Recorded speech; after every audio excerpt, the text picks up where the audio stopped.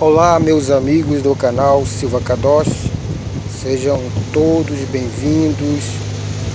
Hoje nós estamos passando aqui na cidade de Codajás. Codajás é um município brasileiro que está localizado no centro do estado do Amazonas, bem na região norte do Brasil. O município de Codajás ele foi fundado em 5 de agosto de 1875 e seu aniversário é comemorado no dia 31 de março. De acordo com o Instituto Brasileiro de Geografia e Estatística, que é o IBGE, para 2020 a população foi estimada em 29.168 habitantes o município está localizado com uma distância a cerca de 240 quilômetros de Codajás até Manaus.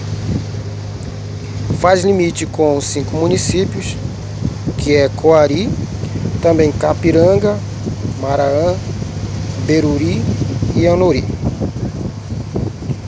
As principais vias de acesso é a fluvial, que ocorre ou através de embarcações ou de expressos e também via aérea. O turismo da, da cidade de, de Codajás está voltado sempre para as, as festas religiosas e culturais. Por exemplo, a festa juninas, que ocorre sempre no final de, de maio até o início do mês de julho. Também os grupos folclóricos de boi bumbá, quadrilhas, danças dos nativos e outras danças.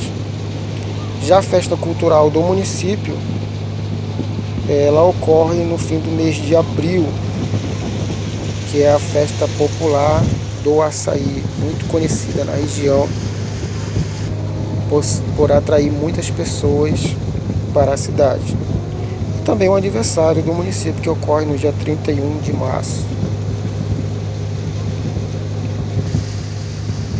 Essa é um pouco da história da cidade de Codajás. Espero que vocês tenham gostado. Mais informações com certeza vai estar na descrição. Você que ainda não é inscrito no canal, peço que você se inscreva. Se você gostou, deixe seu like aí. Ative o, sino pra, o sininho para receber as notificações. E desde já, muito obrigado. Até a próxima.